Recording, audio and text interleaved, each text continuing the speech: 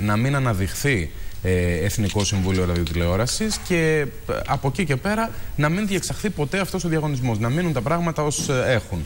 Βεβαίως, από την άλλη πλευρά, ε, μπορώ να καταλάβω και ότι πάτησαν πάνω σε προσχήματα για να απορρίψουν την επιλογή Πολύδωρα, ο οποίος είχε διαγραφεί επειδή ψήφισε τον, ε, καταψήφισε τον ένφια κτλ. κτλ. Όμως, όπως και να έχει, ε, και ό,τι γνώμη και αν έχει κανείς ε, για εκείνον, είναι ένας τέλεχος το οποίο δεν είναι ΣΥΡΙΖΑ, προέρχεται από τα σπάργανα της ε, κεντροδεξιάς παράταξης. Να θυμίσω συν της άλλης όλα αυτά που είπατε, ήταν και υποψήφιος αρχηγός, έτσι. Εγώ να θυμίσω τη δήλωση που έκανε, αν μου επιτρέπεις, Γιώργο, ο κύριος Καμένος, που νομίζω ότι ήταν πολύ στοχευμένη. Είπε ο Πολύδωρας είναι η ψυχή του Καραμανλή. Και ο Κυριάκος Μητσοτάκης θα πρέπει να επιλέξει αν συντάσσεται με αυτόν ή με τους ημνητές του Πατακού και βιβλιοπόλες νεοναζιστικών βιβλίων.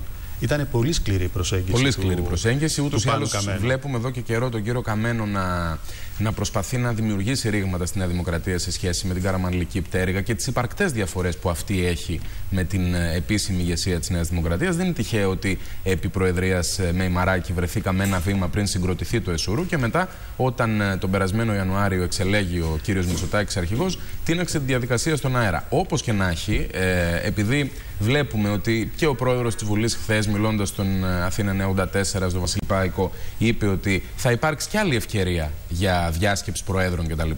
Δεν τελειώνει σήμερα τίποτα εάν όντως καταψηφιστεί, όπως όλα δείχνουν, ε, η υποψηφιότητα του κυρίου Πολύδωρα. Θα γίνονται διασκέψεις. Ε, ακούω με ενδιαφέρον ότι ενώ ως τώρα δεν είχε ποτέ κανείς άλλος πέραν της κυβέρνησης προτείνει κάποιο πρόσωπο, ακούω με ενδιαφέρον ότι η Νέα Δημοκρατία θα προτείνει κάποιον. Ε, Σηματοδοτεί κάτι λες η επιλογή του Βύρονα Πολύδωρα, διότι δεν είναι τυχαία με την έννοια ότι είχε προηγηθεί για το μεγάλο αξίωμα του Προέδρου της Δημοκρατίας, ο Προκόπης Παυλόπουλος, που και αυτός δεν είναι ΣΥΡΙΖΑ προφανώς, έτσι.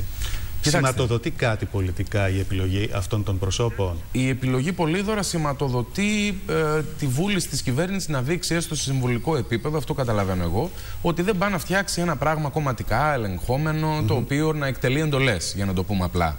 Ε, γιατί δεν νομίζω ότι ο Βίρον Πολύδωρας, εάν εκλεγεί ή εκλεγόταν τέλος πάντων πρόεδρος του ΕΣΟΡΟΥ, θα δεχόταν τηλέφωνο από τον Μαξίμου. Νομίζω επ' αυτού ε, συμφωνούμε όλοι και όλες. Τώρα, ε, από εκεί και πέρα ε, και σε σχέση με τον κύριο Παυλόπουλο, ε, με δεδομένο ότι για πρώτη φορά ήρθε η αριστερά στην εξουσία, δεν είναι ένα κόμμα εξουσίας το οποίο μία χάνει, μία κερδίζει, μία είναι κυβέρνηση, μία εξωματική αντιπολίτευση, είχε ανάγκη να δείξει ότι θα πρόκειται για μία κυβέρνηση όλων των Ελλήνων και εγώ ε, έτσι αντιλαμβάνομαι την, ε, την επιλογή του ε, κ. Παυλόπουλου ως Πρόεδρο της Δημοκρατίας, η οποία πρέπει να πούμε ως τώρα, παρά τις όποιες ενστάσεις μπορεί να είχαν ορισμένοι, μέσα σε αυτούς και εγώ, έχει αποδειχθεί ένας εξαιρετικά δραστήριος και με παρουσία Πρόεδρος της Δημοκρατίας. Να δούμε λίγο την άποψη του Μαξίμου, να ξαναπάμε στην αίθουσα σύνταξης και στον Κώστα Λασκαράτο για όλα αυτά.